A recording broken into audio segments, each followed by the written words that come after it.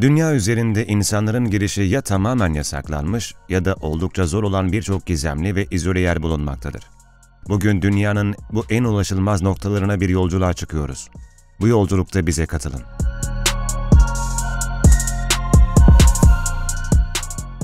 Ilha de Queimada Grande Eğer yılanlardan korkuyorsanız hazırlıklı olun. Çünkü zehirli yılanlarla dolu, ürpertici bir ada hakkında konuşacağız. Yılan fobisi olanlar için bu ada tam anlamıyla bir kabus. Hatta fobisi olmayanlar için de bu sürüngenlerin yılda binlerce insanı öldürdüğü düşünülünce korkmak kaçınılmaz. Sadece 105 dönüm büyüklüğündeki bu küçük ada yoğun yılan popülasyonuyla biliniyor. Peki bu ada nerede? Güneydoğu Brezilya kıyılarında yer alan bu ada, çeşitli arazilere ve bir kısmı yağmur ormanlarından oluşan bölgelere sahip.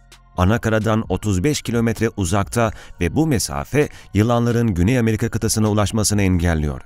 Bu durum yılanların güçlü zehrini düşününce pek çok kişi için bir rahatlama kaynağı. Şimdi adanın gerçek yıldızlarına, yılanlara geçelim. Amerika'nın en ölümcül yılanı olan Ferdelans'ın Brezilya'daki yılan adasında zehirli bir kuzeni bulunuyor. Botrops insularis, diğer adıyla altın mızrak başlı engerek. Bu yılan sadece yılan adasında yaşaması nedeniyle özellikle önemli. İnsanları ve yılanları korumak için Brezilya hükümeti adaya erişimi kısıtladı. Sadece Brezilya donanması deniz feneri bakımı için adaya girebiliyor.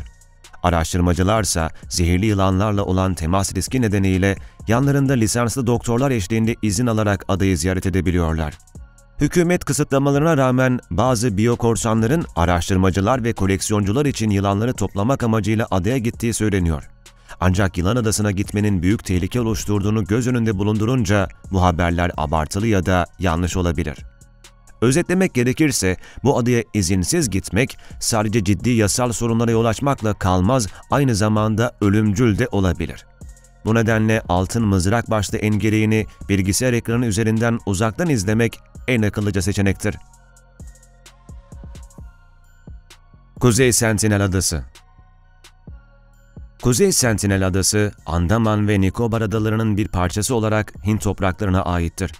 Ancak bu durum adanın kolayca erişilebilir olduğu anlamına gelmez. Ada dünyanın geri kalanından kendilerini gönüllü olarak izole eden Sentineliz halkına ev sahipliği yapmaktadır. Hint hükümeti adalıları korumak amacıyla katı yasalar uygulamaktadır ve adaya her türlü seyahat kesinlikle yasaklanmıştır.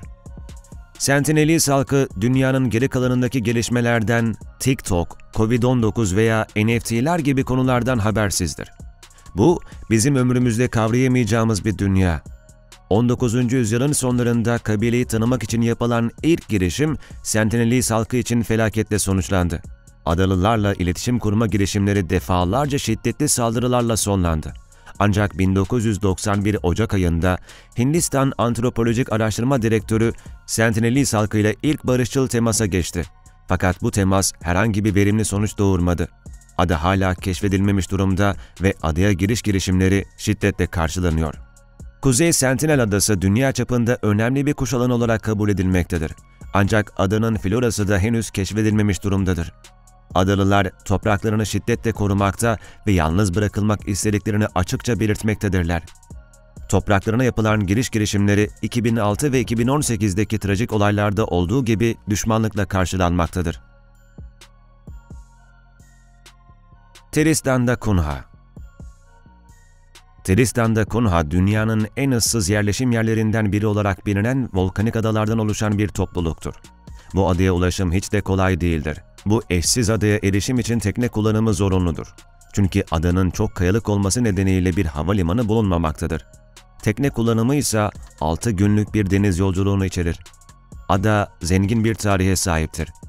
1506 yılında Ümit Burnu'na seyahat eden Portekizli bir amiral tarafından keşfedilmiştir.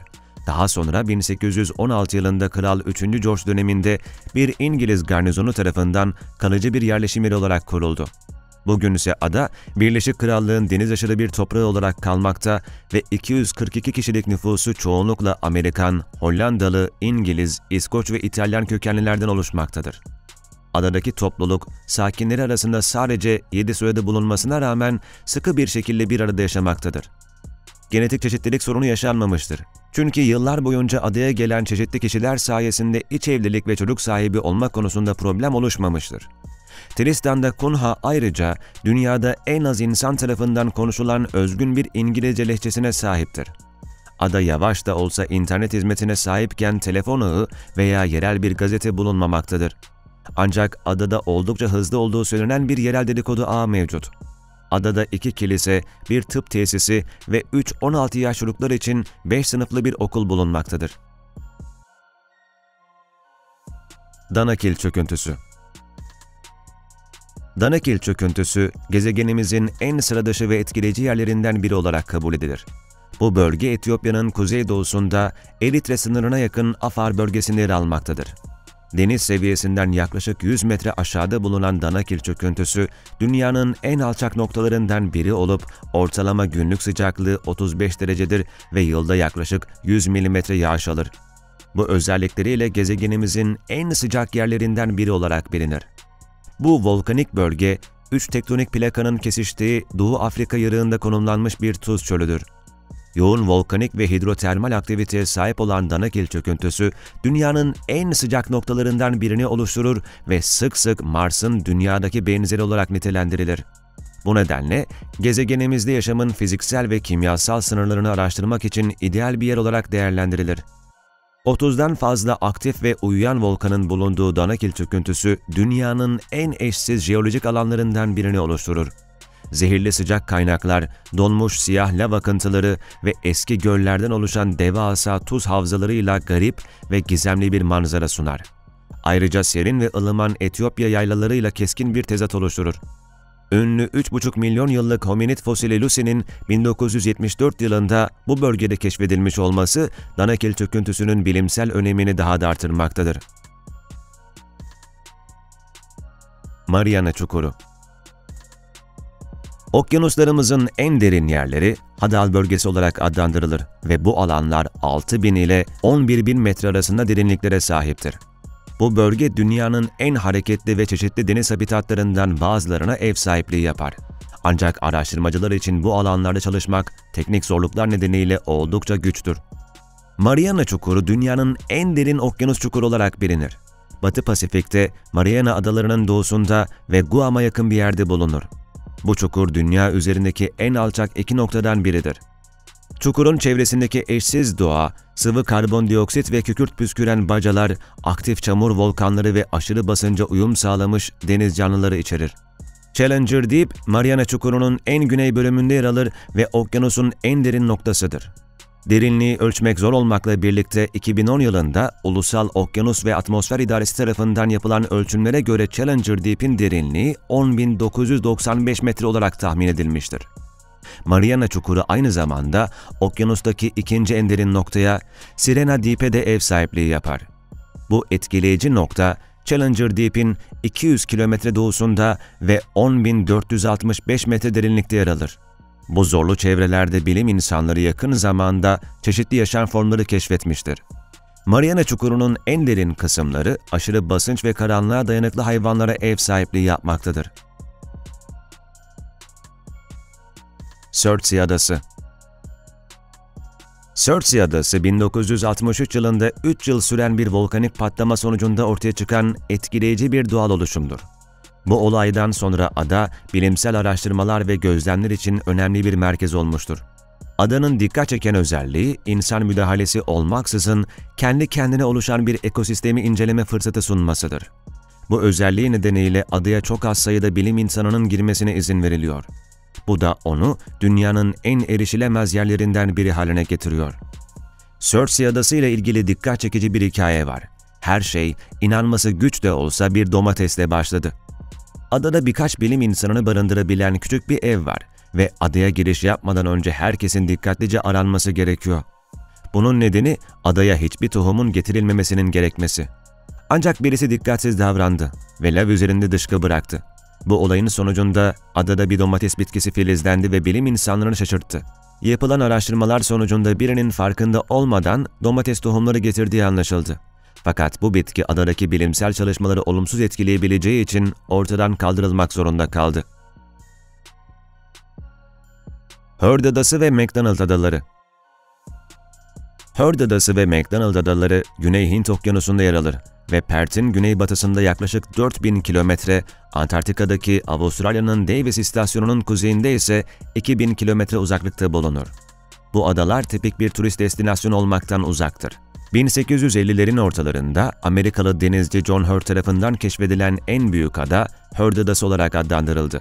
Bir yıl sonra William McDonald ikinci büyük adayı keşfetti ve ona kendi adını verdi.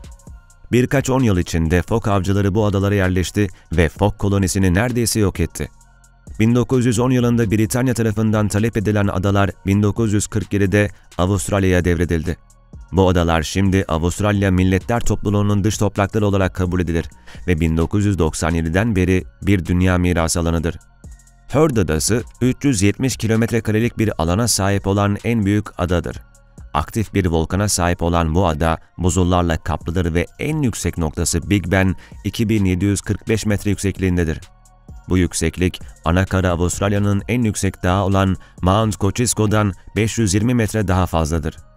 Son 2-10 yılda birkaç patlama yaşanmış olan Heard Adası kesinlikle hafife alınmaması gereken bir yerdir. McDonald Adası ise çok daha küçüktür ve yalnızca 185 metre yüksekliğindedir. Fakat o da aktif bir volkana sahiptir.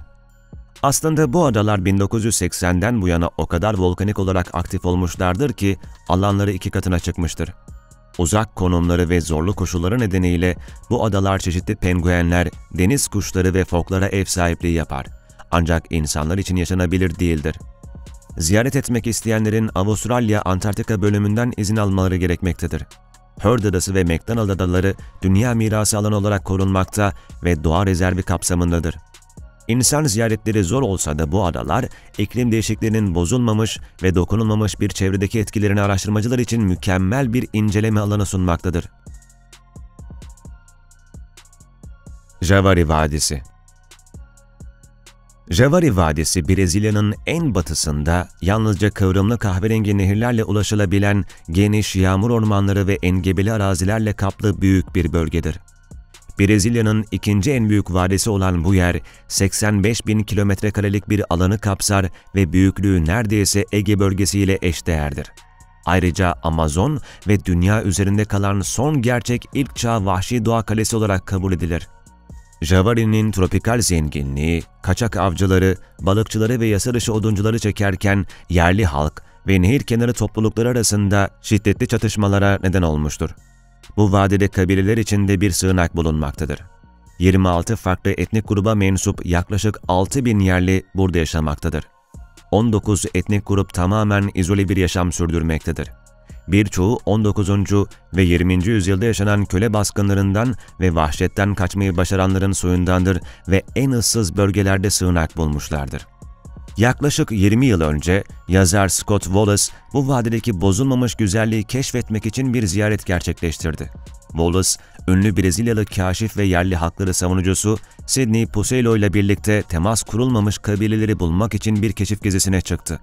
Vadide bozulmamış doğanın şiddet ve tehlikeyle karıştığı, temas kurulmamış kabilelerin uyuşturucu kaçakçıları ve suçlularla iç içe yaşadığı bir ortam bulunmaktadır. Burası doğanın güzelliğiyle insan yapımı tehlikelerin bir arada bulunduğu kontrastlarla dolu bir yer. Motuo şehri Motuo, dünyanın eşsiz ve izole bir köşesi olarak Doğu Tibet'te yer alır. Bu ilçe inanılmaz bir şekilde Çin'deki dış dünyaya karayolu bağlantısı olmayan tek yerdir. Bu özelliğiyle dikkat çeken Motuo, aynı zamanda Brahmaputra Nehri'nin Çin'den geçerek Hindistan'a ulaştığı son noktadır. Neredeyse bir yolun sonu gibi sınırın ötesini temsil eder. Nüfusu sadece 10 bin kişi olan bu ilçede çoğunlukla Menba ve Looba etnik gruplarından insanlar yaşar. Motuo sanki kendi dünyasını oluşturan bir yerdir. Peki Motuo'yu bu kadar özel kılan nedir?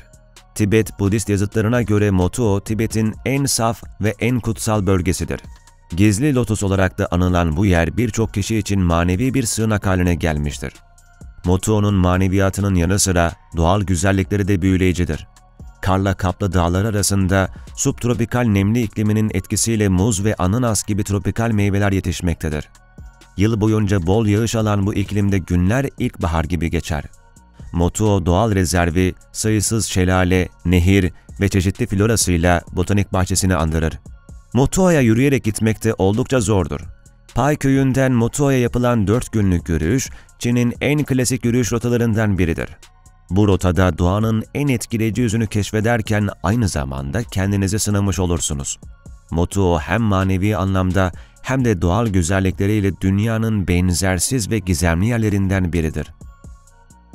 Bu inanılmaz yerlerden hangisine gitmek isterdiniz? Bizimle paylaşmayı unutmayın. Görüşmek üzere.